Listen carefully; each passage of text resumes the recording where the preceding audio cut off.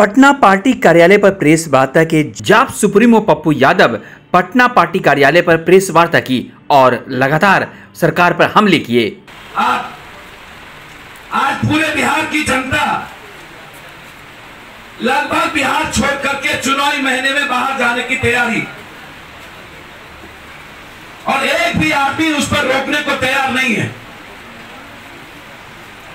बत्तीस लाख में आए हुए मजदूरों के साथ नीतीश कुमार ने अपराध किया है।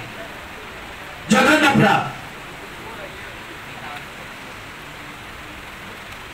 घोर बड़ी घटना। और अभी भी 50 लाख लोग घर वापस नहीं लौटे हैं बाहर के। लेकिन इक्कीस तारीख के बाद सभा अब शुरू होगी क्या कोरोना वायरस देश से खत्म हो गया? क्या पॉजिटिव केस खत्म हो गए? हम लोगों ने आज तक पहला राज्य संसदीय board professor Abhay Kumar chemistry के head of department Patna university वो संसदीय बोर्ड के चेयरमैन होंगे। राज्य संसदीय बोर्ड। सचिव होंगे श्री अवधेश कुमार लालू जी। प्रदेश सदस्य होंगे अध्यक्ष रघुपति सिंह जी। राघवेंद्र कुशवाहा जी और उमेर खान उर्फ़ टीका खान जी, वर्किंग प्रेसिडेंट। उसके बाद उसके सदस्य होंगे professor G N Jha, Akbar Ali, professor Ali, Mukteshwar Singh, Gopal Prasad Yadav Gulfisha Jabi उर्फ़ Sugan, Kamlesh Tiwari और अनिल कुमार राम एक्स डीएसपी ये पार्लियामेंट्री बोर्ड स्टेट के कमेटी की घोषणा जो स्क्रीनिंग करेगी 15 सितंबर के पहले। और 15 और 20 के बीच हमारी पार्टी और हमारा गठबंधन मुख्यमंत्री के नाम की घोषणा करके चुनाव में आएगी। और हम अत्यंत पिछड़ी जाति और दलित पर हमारी पार्टी अड़ी है। हम अत्यंत पिछड़े या दलित में से नाम की घोषणा करेंगे।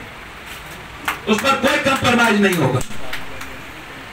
केंद्रीय संसदीय बोर्ड अध्यक्ष अजय कुमार बुलगानी जी एक्स एमएलए सचिव एजाज अहमद साहब, प्रधान महासचिव, प्रदेश सदस्य राजेश रंजन और पप्पू यादव, डॉक्टर इखलाक अहमद, सदस्य प्रेमचंद सिंह, ललित शर्मा जी, रामचंद्र सिंह यादव एक्स एमएलए जय सिम्हा राष्ट्रीय महासचिव, रिटायर्ड डीआईजी राजेंद्र राम, हरेराम महतो, अत्यंत पिछड़ा प्रकोष्ठ, विनोद कुमार निषाद और प्रोफेसर दानिश। ये राष्ट्रीय महासचिव, ये राष्ट्रीय कमेटी की घोषणा की गई है। पाँच सदस्यीय कमेटी हर मोर्चे से बात करेगी, जिसमें हमारे वर्किंग प्रेसिडेंट अखलाक अहमद, रामचंद्र सिंह यादव, एजाज अहमद, रघुपति सिंह राघवेंद्र कुशवाहा जी। ये पाँच सदस्य कमेटी सभी पार्टियों से के नेता से बात कर बिहार को एक मज़बूत विकल्प देने की तैयारी हम करेंगे और ये अगले सितंबर तक हम उसको आपके सामने लाए। आगे कुछ पूछना? से बात करने में कोई आपत्ति नहीं आरजेडी के मुख्यमंत्री पर सहमति पर कोई विचार नहीं। पता भी आप नहीं खोलिएगा आने दीजिए। शरद यादव जदयू में करेंगे और नीतीश कुमार तीन बार बात कर लेगा। रेस्पेक्टेबल नेता है। शरद यादव जी को वहाँ नहीं मिले यहाँ मिले कहीं यहाँ गिरा वहाँ गिरा। शरद यादव जी बगैर किसी रह रह नहीं सकते हैं उनका रेस्पेक्ट नहीं हुआ। आरजेडी में आरजेडी में रेस्पेक्ट किसका होता है? मात्र पाँच आदमी की आरजेडी है। लालू यादव जी को छोड़ दू। आरजेडी है किसकी? बात खत्म है उस पर छोड़ दीजिए। पप्पू यादव जी? तीस साल रहे मेरा समझौता के अलावा सबसे बात करेगी। पार्टी तय जो करेगी संसदीय कमेटी बना दी गई वो तय करेगी तो उसी वो हाँ कहेगी तो लड़ेंगे ना कहेगी तो नहीं लड़ेंगे। लेकिन वाल्मीकि नगर का बाय इलेक्शन हमारी पार्टी या कोई ना कोई अच्छा उम्मीदवार वहाँ सपोर्ट करेगी। वाल्मीकि नगर में चुनाव लड़ेंगे। सबसे बात हो रही है। मांझी जी से भी बात हो रही है। मुकेश सहनी से भी बात हो रही है। उपेंद्र कुशवाहा जी से भी बात हो रही है। डेली बात हो रही है डेली बात होगी। कब तक कब लगेगी सर मुहार उनको लगाना, मैं बात डेली कर। सर, हम पाँच साल पर औकात बताएँगे नीतीश कुमार को। पाँच साल का स्वयं पर जारी करे। कोई पंद्रह साल पंद्रह साल की चीज़ नहीं होगी। बात होगी। चिराग बापू डेली बात हो रही है। बापू जी अन्य पार्टियों की तरफ़ भी क्या जाँच दलित कार्ड देने के लिए तैयार है? आपने कहा कि सर मेरे तरफ़ से अत्यंत पिछड़ा और दलित सीधा सामने है उस पर कोई कंप्रोमाइज नहीं ऊँची जातों में से डिप्टी सेव लेंगे चौड़ी थोड़ी हम एक सौ सीट पे आ जाएँगे गठबंधन मज़बूत होगा हम नीचे आ जाएँगे। आप क्या चिंता करते हैं? एक आदमी की सरकार कैसे बन गई? जी की और दिल की बात वो देश का नहीं सुनते हैं। वो झुंझुना की बात कर ली। देश में बिहार को असंगठित क्षेत्र में मारने की तैयारी कर ली देश को तो किए ही। उन्होंने कल विद्यार्थियों की बात नहीं किया 45 लाख बच्चे की बात उन्होंने नहीं की। मतलब मोदी जी और नीतीश कुमार के एजेंडे में नीट एग्जामिनेशन बच्चे या कोई भी प्रतियोगिता वाले बच्चे के बारे में कोई सोच नहीं है। मेरा सीधा आरोप है मोदी जी और नीतीश कुमार पे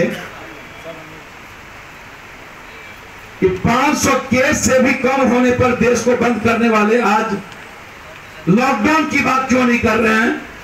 और बच्चे को मारने की तैयारी क्यों कर लिया पिछले तीन दिनों में केस की संख्या 28 अगस्त को सतहत्तर हज़ार दो सौ छियासठ, उनतीस अगस्त को छिहत्तर हज़ार चार सौ बयालीस, तीस अगस्त को अठहत्तर हज़ार सात सौ इकसठ। ये तीन दिन का हिसाब है। औसत मृत्यु डेली 850 से ऊपर है।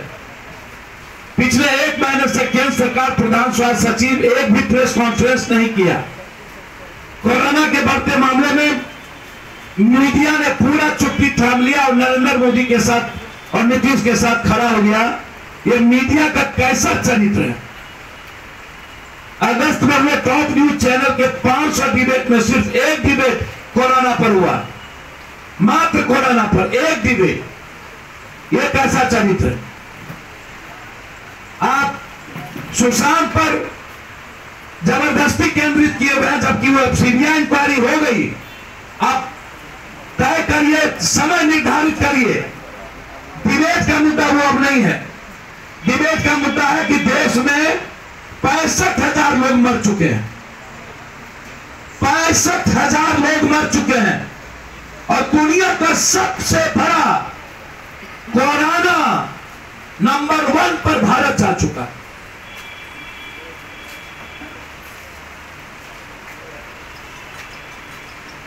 इससे बड़ा जघन्य अपराध क्या हो सकता है? और उसके बाद 45 लाख के स्टूडेंट को मरवाने की तैयारी। यह दुखद है भाई। सुनियोजित तरीके से गरीब बनाया जा रहा है, सुनियोजित। और सिर्फ़ सिर्फ़ पूंजीपतियों के लिए, अदानी, अंबानी इनके लिए। चालीस करोड़ लोग अत्यधिक गरीब से ग्रसित हो चुके हैं नोटबंदी जीएसटी के बाद कोरोना वायरस में। पिछले 45 साल में बेरोजगारी अपने सबसे ऊंचाई स्थान पर है। सबसे। बिहार की अठासी प्रतिशत कामकाजी आबादी ऐसी है जो रोज कमाती खाती है और उन सभी को सरकार ने अत्यधिक गरीबी में धकेल दिया। और नीतीश कुमार सबसे बड़ा दुश्मन है बिहार के इस गरीब के। पहले गरीबी सरकार नारा होता था, गरीबी हटाओ। अब यह नारा हो गया, गरीबी बढ़ाओ। नरेंद्र मोदी जी और नीतीश कुमार गरीबी बढ़ाने की तैयारी। जानबूझकर अडानी, अंबानी गुलाम बनाया जा रहा है। भारत का सबसे अमीर व्यक्ति होकर अपने कर्मचारियों को निकाल सकता है, वो व्यापारियों के लिए देश क्या सोचेगा? यह सवाल दूसरा, बिहार के मजदूर छ महीने पर उनको पैसा देकर प्लेन का टिकट भेज करके बिहार से ले जाया जा रहा है। और नीतीश कुमार मस्त। तीसरा, चुनाव के महीने में नीतीश कुमार का उद्घाटन और घोषण क्यों? हम चुनाव आयोग से आग्रह करेंगे कि अविलंब रोक लगाई जाए ये गलत है, पैसे नहीं होने के कारण उसके बाद भी। आप लॉकडाउन की बात अनलॉकडाउन की बात खत्म हो गई।